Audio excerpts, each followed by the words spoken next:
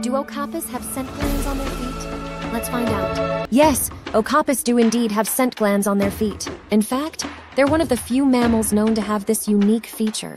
So, what's the deal with these scent glands? Well, these glands secrete a tar-like substance that leaves a scent trail wherever the okapi walks. This is a major way they communicate in the wild.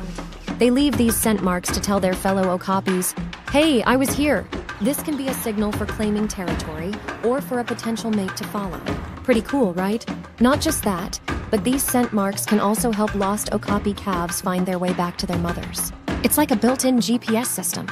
So, there you have it, the okapi, a unique and enchanting creature with its very own olfactory messaging system. That's all for today. Don't forget to hit that like button if you learned something new today, and smash that subscribe button for more wildlife adventures.